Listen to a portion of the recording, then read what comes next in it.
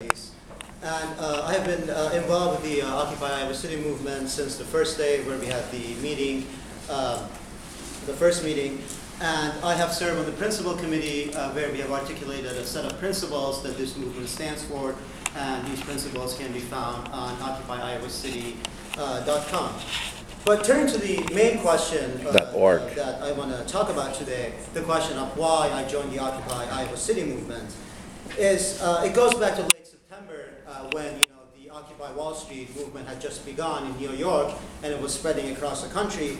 And I was reading a passage from the Hebrew Bible or the Old Testament, um, and uh, this is the second uh, Samuel uh, uh, chapter 12, and uh, it went something like this. When prophet Nathan came to King David, he said to him, Once there were two men, residents of the same town, the one rich and the other poor. The rich man had many sheep and cattle, while the poor man had but one little ewe, which he had bought and raised, and which grew up with him and his children. It would share his food, drink from his cup, and nestle in his bosom. In short, the ewe was like a daughter to him.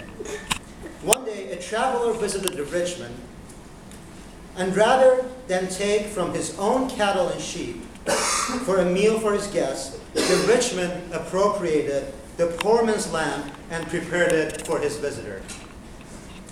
So, this parable of the rich man and the poor man reminded me of our society where the rich is becoming richer every day and the poor is becoming more impoverished every day.